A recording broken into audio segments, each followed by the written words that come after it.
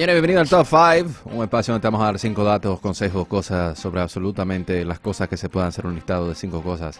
Porque sorprendentemente se puede hacer un listado con muchas cosas y eso lo hemos comprobado aquí en The Morning Beat. Excepto Excepto que... con las que no llegan a 5. Exactamente. Nos dimos cuenta de eso los otros días. Los otros días. Sí, sí, sí. Bueno. La naturaleza nunca dejará de sorprendernos, señores. Siempre hay nuevas especies por descubrir, analizar y explorar. En el día de hoy nos sumergiremos en el mundo animal para dar a conocer en este top 5 los 5 animales más raros del mundo. Número 5. Empezamos con el ornitorrinco. Ah, ¿El qué? claro, el ornitorrinco. Claro, ¿Tú no sabías cuál es el ornitorrinco? ¿Qué es eso? Sí, eh, chequea. Bueno, imposible no poner al ornitorrinco entre los más raros del mundo. Obviamente vamos a poner fotos en las redes para visualmente entender qué es esto. Si nos ponemos en la posición del primer biólogo que vio esta especie, lo primero que vio fue un hocico parecido al pico de un pato. Lo Ujú. siguiente fue que vio una cola de castor. Ujú. Y para ponerlo aún más extraño, pudo ver sus patas de nutria. De hecho, al principio hubo muchas dudas sobre si el animal era real. Pero eso no es todo. Resulta que además de todo eso, pone huevos. Es el único mamífero que existe que se reproduce mediante huevos. Y para colmo, es uno de los poquísimos mamíferos que tiene un veneno y además es muy poderoso, capaz ¿Qué? de causarte un inmenso dolor durante varias semanas y de matar a algunos animales más pequeños como perros de tamaño medio. Wow. El ornitorrinco también es capaz de oler bajo el agua, una capacidad muy extraña y muy poderosa que le permite ser un gran cazador. Y por último, tiene un detector de impulsos eléctricos. ¿Qué? empieza ese Pokémon. Todas estas características le convierten en uno de los animales en los que existe más controversia. No se sabe cómo la evolución llevó al animal a tener características de tantos animales diferentes. La incapacidad de la ciencia para poder explicar la evolución del ornitorrinco ha llevado a mucha gente a calificarlo como reptiliano. Pese a que pone huevos, ¿eh? se considera mamífero porque produce leche para sus crías. ¡Wow! ¡Qué locura! Sí, un- Empezamos raro, Oye, empezamos raro. yo lo conozco por platypus. El Ok. platypus, pero ya, pa- para los Platypus. oyentes que no sabían, el platypus. Ok, Ok. ok. Co- Número 4. El número 4 tenemos el lagarto cornudo y es un animal extremadamente raro. No existe otro animal capaz de expulsar su propia sangre adrede como forma de defenderse ante otros depredadores.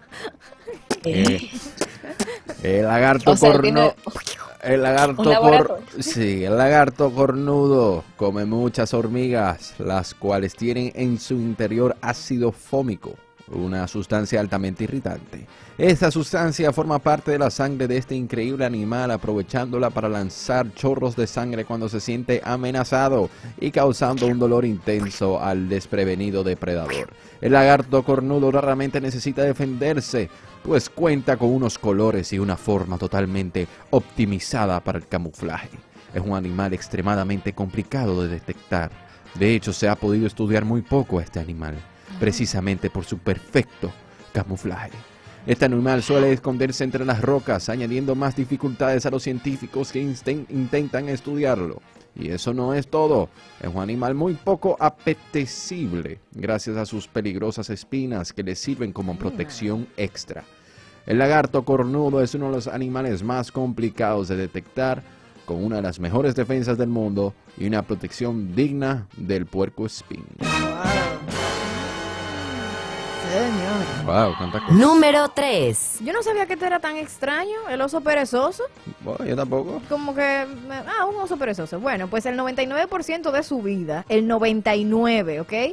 El oso perezoso se mueve a una velocidad extremadamente lenta.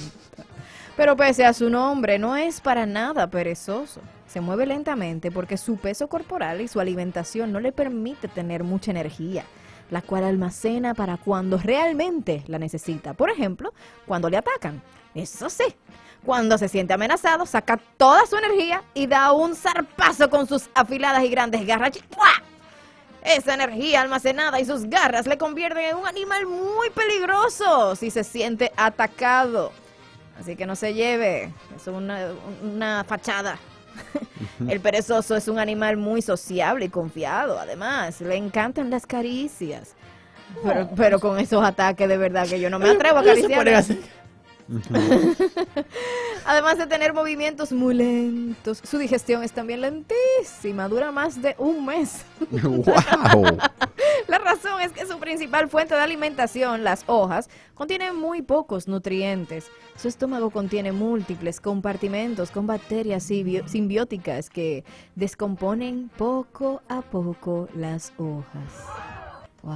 Ay, Ay, son lindos. Yo vi un documental una vez de un oso perezoso que duró un mes y medio para subirse a la, a la punta de un árbol. Ay, Dios mío. Y cuando agarró la última ramita se cayó. Ay, hombre. ¡Qué fuerte, No qué fuerte!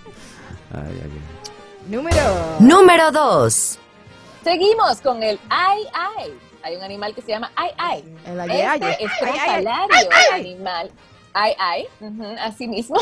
Este estrafalario animal ha sido durante muchos años el responsable de las peores pesadillas. ¿Qué? Sus ojos amarillos, muy abiertos, su nariz y boca únicos, le convierten en un animal muy tenebroso y raro.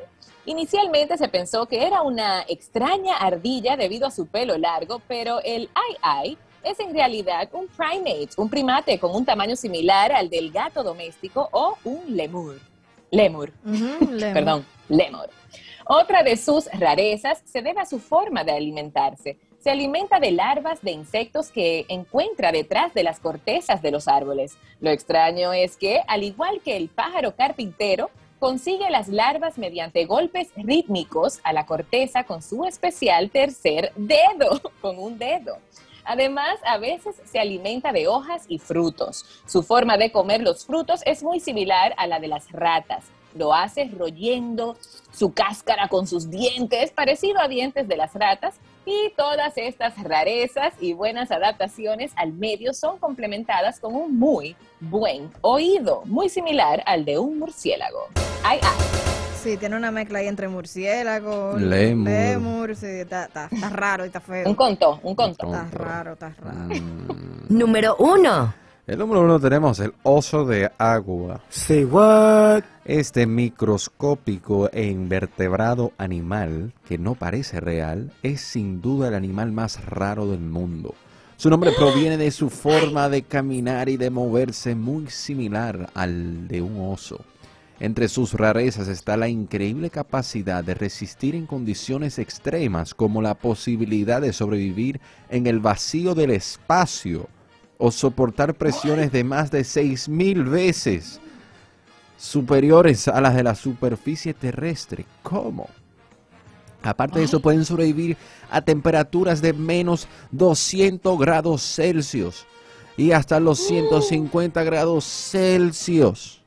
Oh my God. Además, también son capaces de sobrevivir durante más de 10 años a la deshidratación y soportar radiaciones extremas. No existe animal en el mundo más preparado para sobrevivir que este oso de agua. ¿Le ganó a la cucaracha? 100%.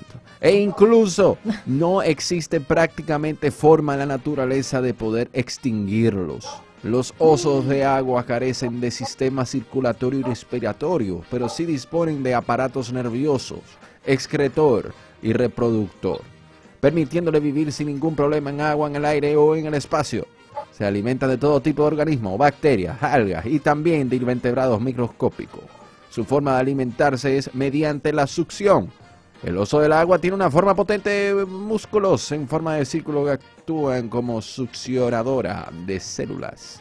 Sus características le hacen ser el animal más resistente del mundo, así como el animal más raro del mundo. Hay un perro por ahí. ¿dónde está el perro? ¿De dónde me.?